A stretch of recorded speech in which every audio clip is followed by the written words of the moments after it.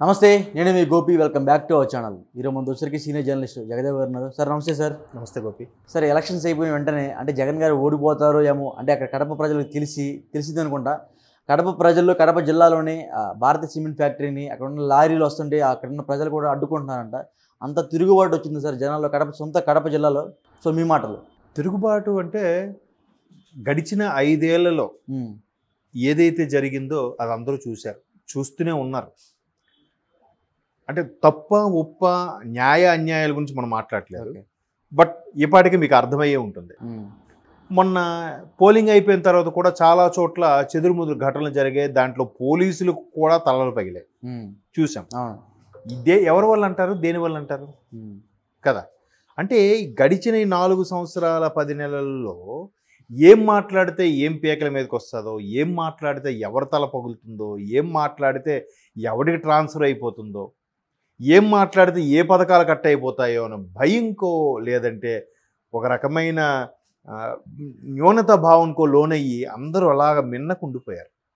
ఇప్పుడు ఒక్కొక్కరుగా బయటకు వస్తున్నారు. గొడవలు అయ్ మేం గె- ఒకడొచ్చి మేం గె- ఓడిపోతాను అక్కసితో తట్టుకోలేక బుర్రల బర్ల కొడతాడు. ఇంకొకడు వచ్చి ఈవీఎం మెషిన్ వచ్చి బర్ల కొడతాడు. ఇంకోటి వచ్చి ఆ ఊరికే ఈవీఎం మెషిన్ ఎత్తుకుని పారిపోతాడు. రకరకాలు జరుగుతున్నాయి కదా. ఇవన్నీ దేని వల్ల అంటారు? ఎందుకు తీసుకెళ్ళిపోతున్నారు? ఎందుకు బదలు కొడుతున్నారు ఎందుకు కొడుతున్నారు? ఎందుకు పోలీసులు కూడా చోద్యం చూస్తున్నారు అనే వార్తలు చూస్తున్నాం? ఇవన్నీ కూడా ఒక రకమైన భయభ్రాంతులకి. నేను చాలా సందర్భాలు చెప్పాను.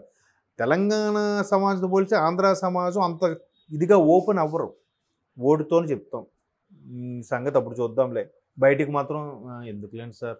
అంటారు. అంటే సినిమాల్లో మనకు చూపిస్తే మీకు ఎవడైతే స్ట్రైట్ ఫార్వర్డ్గా ఉంటాడో ఎవడైతే ప్రభుత్వాన్ని ఎదిరిస్తాడో ఎవరైతే అన్యాయాన్ని ఎదిరిస్తాడో వాడిని హీరోలో చూస్తాం. రియల్ లైఫ్లోకి వచ్చేసరికి ఫస్ట్ నీ తల్లిలో నీ భార్య ముందు వెనక్కి లాగుతుంది. బా వాళ్ళందరికీ లేని మీకెందుకండి అంటుంది.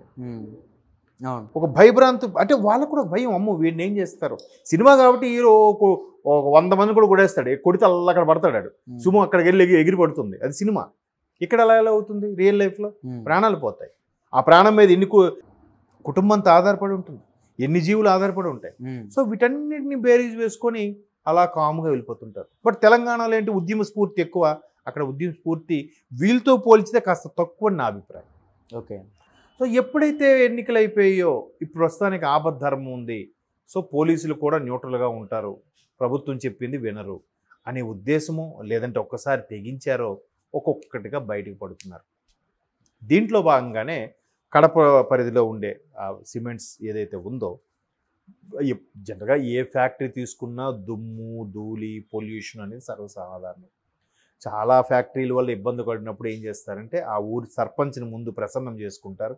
తర్వాత అక్కడ ఉండే స్థానికులను ప్రసన్నం చేసుకొని బాబు బాబు మీ ఫ్యాక్టరీ వల్ల మా చెరువు ఇంత ఇదైపోతుంది మా నదిలోకి అంత కలుషితం అయిపోతుంది మా సముద్రంలో చేపలు చచ్చిపోతుంటే ముందు చే- చేపలు చనిపోతున్నాయి అది మీకు పడవలు కొనిస్తాం. మీకు ఇంటి నుంచి ఒక ఉద్యోగాన్ని ఇస్తాం. వాళ్ళ ఇంటి నుంచి ఉద్యోగం ఇచ్చారనుకోండి యాజిటేషన్ ఎవరు తీసుకురాడు కదా. ఇట్లాంటి తాయిలాలతో ఫ్యాక్టరీస్ అనేవి కొద్ది కొద్దిగా బుజ్జగిస్తుంటాయి. బట్ అది పోను పోను కొన్ని సంవత్సరాలు అయితే అది ప్రమాదకరమే. కానీ ఒకవైపు భృతి మరోవైపు పొల్యూషన్ పొల్యూషన్ తక్కువగా ఉండే లేదా ఊరికి చివరగానో ఎక్కడో దూరంగా ఉండే చేయాలి బట్ పెరిగిన జనాభా అలాగే పట్టణాలు విస్తరం విస్తరించడం వల్ల అలా ఫ్యాక్టరీ పక్కకి ఫ్యాక్టరీ చుట్టుపక్కలకి వెళ్ళిపోతున్నాయి పొల్యూషన్ అవుతుంది. సో ఇప్పుడు గడిచిన ఐదేళ్ళు కాదు ఇంతకు ముందు నుంచి కూడా ఏదో సమ్ వికాట్ అనే company MNC company take over చేసింది. దానికి అప్పట్లో వీళ్ళు పది పదిహేను ఏళ్ళ కిందటే భారతీయ సిమెంట్స్ అమ్మేశారు. బట్ ఈ పేరు మీద నడుస్తుంది. దాన్ని నడిపించేది కూడా మ్యాక్సిమం ఈ కుటుంబానికి లేదా ఈ కుటుంబానికి అన్యాయులుగా ఉండేవాళ్ళు ఫేవర్గా ఉండేవాళ్ళే అందులో సుపీరియర్గాను అధికారులుగాను ఉన్నారు. నడిచిపోతుంది అనుకున్నారు సో ఇప్పుడు పోలింగ్ అయిపోయిన తర్వాత ప్రభుత్వం మరి రా ఓడిపోతుందని భావన లేదంటే వీళ్ళు మళ్ళీ మాకు ఇంకేం చేసేది లేదనే భావన తెలియదు కానీ ఒక్కసారిగా అందరూ పిడికిలి బిగించి రోడ్డు మీదకి వస్తున్నారు. అంటే సొంత జిల్లా కడపలోనే ఆ పరిస్థితి ఉంటే మిగతా దగ్గర పరిస్థితి ఎలా ఉంటుందో ఊహించుకోవచ్చు. అంతే కదా? దీన్ని ఒక్కటి బేరీజ్ వేసుకొని మిగతా ఈ సర్వేలన్నీ కూడా మనం మాట్లాడుకోవచ్చేమో బహుశా.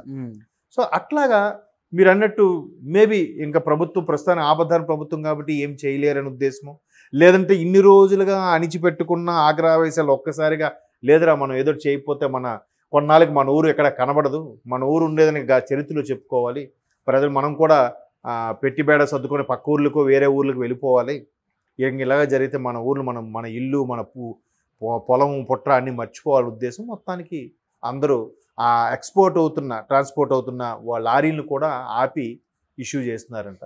మేబీ దీన్ని కొన్ని మీడియాలు దాచిపెడుతున్నాయి కొన్ని మీడియాలు బయటికి తీసుకొస్తున్నాయి.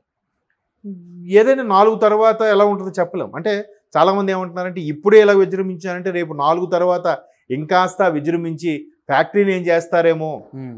ప్రజల ఆగ్రహవేశాలకి ఫ్యాక్టరీని లాక్డౌన్ చేపిస్తారా? లేదా ఫ్యాక్టరీని ముగిస్తారా? లేదంటే ఇంకేమైనా తిరుగుబాటు చేస్తారా అనేటు కూడా రకరకాల వార్తలు వినిపిస్తాయి చుట్టుపక్కల ప్రాంతాలు. ఏదైనా అంటే వాళ్ళ స్థానిక సమస్య. ఇప్పుడు మొన్న నిన్న ఎప్పుడో ఒక ఐఏఎస్ అకాడమీ ఆవిడ ఆవిడ పేరు బాలలత గారు. బాలలత గారు. ఆవిడ ఒక రోజు ఒక షార్ట్ లాగా ఒక టెక్స్ట్ చెప్తుంటారు. ఆవిడ కూడా చెప్పారు ఒరిస్సాలో ఒక ఒక తెగ షెడ్యూల్ ట్రైబ్స్ చెందిన తెగ అక్కడ ఫ్యాక్టరీ పెడతామంటే వాళ్ళు వాళ్ళకి అసలు ఏమీ తెలియదు అటువంటి వాళ్ళు చాలా సీరియస్గా ఆ కొండని ఆనుకొని మాకు జీవితాలు ఆధారపడి ఉన్నాయని చెప్పి ఆ ఫ్యాక్టరీని దరిదాపులు కూడా రాకుండా ఫైట్ చేశారంట. ఫ్యాక్టరీ రాకుండా చేసుకున్నారు వాళ్ళు. ఒక యూనియన్గా. అంటే అక్కడ స్థానికంగా ఉండే విలేజ్ కమిటీ ఏదైతే ఉందో సర్పంచ్ కానీ లేదా విలేజ్ కమిటీ ఆమోదం పొందితే కానీ ఫ్యాక్టరీ పెట్టడానికి వీల్లేదు. ఆ కమిటీ ఎన్ని తరాలు ఎంతమంది వాళ్ళకు అడ్డొచ్చిన వాళ్ళు చంపేసినా కూడా భయపడకుండా అలాగే ఉండి వాళ్ళకు అనుకూలంగా ఫ్యాక్టరీ వాళ్ళకు అనుకూలంగా ఆ పర్యావరణం నాశనం అవ్వకుండా ఫ్యాక్టరీ రాకుండా చేసుకున్నారట. అంటే ఒక్కొక్క తే అలాగా అలా జ- చరిత్రలు నిలిచిపోతారు. బట్ ఇక్కడ ఈ స్థానికంగా ఉండేవాళ్ళు కాబట్టి కొంతమంది గొర్రెలు కొంతమంది ఎదవలు ఉంటారు. అమ్ముడు పోయేవాళ్ళు. వాళ్ళు ఏం ఏముందిరా చాలా సినిమాల్లో కూడా చూస్తున్నాం కదా. అని ఎబ్బా నీకు రెండు వందల కోట్లు ఇస్తామంటే ఊరేమైపోయినా పర్వాలేదు. ఏముంది వీడు ఇంకో ఊర్లో సెటిల్ అయిపోతాను. వీళ్ళు పోతే పోనీలే అనుకునేవాళ్ళు ఆ మధ్యన ఏదో మార్టిన్ లూథర్ కింగ్ అనే సినిమా చూసారు చూసాం. అదంతే కదా. అది ఓటు గురించి ప్రాధాన్యత. అండ్ మోర్ ఓవర్ వాళ్ళు కూడా ఎందుకు సర్పంచ్ అవ్వాలనుకుంటాడు సర్పంచ్ అనేవాడు సంతకం పెడితే వాళ్ళు రెండు వందల కోట్లు ఇస్తామంటాడు అక్కడ ఫ్యా ఈ ఊరు ప్రజలంతా ఖాళీ చేసి ఇక్కడ ఫ్యాక్టరీ పెట్టుకుంటామని. మళ్ళీ అక్కడ ఫ్యాక్టరీ గురించే. అంతకుముందు రవితేజ గారి సినిమా ఏదో వచ్చింది వీడే అని. అది కూడా అంతే. ఒక ఫ్యాక్టరీలో దాని యొక్క కలుషితం అంతా కూడా అందులోకి చేరిపోతుందని. ఈమె అదేంటి? శ్రీమంతుడు కాన్సెప్ట్ అదే కదా. ఫ్యాక్టరీయే మహేష్ బాబు గారు శ్రీమంతుడు కూడా. Liquor factory. Liquor beer factory ఏదో పెట్టారు. ఆ దాన్ని కలుషితం అయిపోయి అక్కడ ప్రజలు చనిపోవడం నేను నాకు వద్దు మీరు పంపించేది ఎక్కడి నుంచి వెళ్ళిపోండి ఈ ప్రజలు నేను దత్తత తీసుకున్నాను అని చెప్పి చెప్తారు.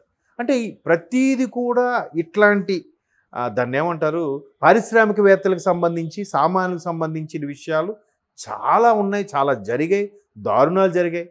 వాటన్నిటి మీద కూడా చాలా సినిమాలు డా- డాక్యుమెంటరీలు వచ్చాయి. కానీ ఇప్పుడు మనం ఇది లైవ్లో చూస్తున్నాం. ఇట్లాంటివి కూడా చాలా దగ్గరలో ఉన్నాయి. నాకు తెలిసి ఉత్తరాంధ్రాలో కూడా ఒక ఊర్లో ఇట్లాగే జరిగితే. ఆ ఊరు ప్రజలు కలుషితం అంతా సముద్రంలో కలిపేస్తున్నారు చేపలు చచ్చిపోతున్నాయి మాకు ఆధారం పోతుంది చేపలు వేటకెళ్తే చేపలు ఉండట్లేదు అంటే వాళ్ళందరూ బొజ్జగించి ఇంటికి ఒకరిని ఉద్యోగం ఇచ్చి వాళ్ళకి ఒక ఇంటికి ఒకటి బోటు చెక్క బోట్లు తయారు చేసి ఇప్పించి ఇట్లా ఏవో చేస్తున్నారు. అప్పుడు అది సరిపోతున్న తర్వాత. నెక్స్ట్ జనరేషన్ ఒక్క చేప దొరకదు. అప్పుడు ఎలా బతుకుతారు? ఈడు వీడ ఆ, మెల్లమెల్లగా ఒకటినే పెట్టి వాడి నెక్స్ట్ జనరేషన్కి ఉద్యోగం ఇవ్వడు ఇంకా. అప్పుడు. సో మారాల్సింది ప్రజలు కూడా ఉంది. నాయకులు కూడా ఈ ప్రజలు బట్టి వాళ్ళు తయారవుతున్నారు. పారిశ్రామికవేత్తలు కూడా వీళ్ళు బట్టి ఏముందిరా బిస్కెట్ వేస్తే వాడే చేస్తాడు లేరా అనే తలంపులో చేయించుకుంటున్నారు.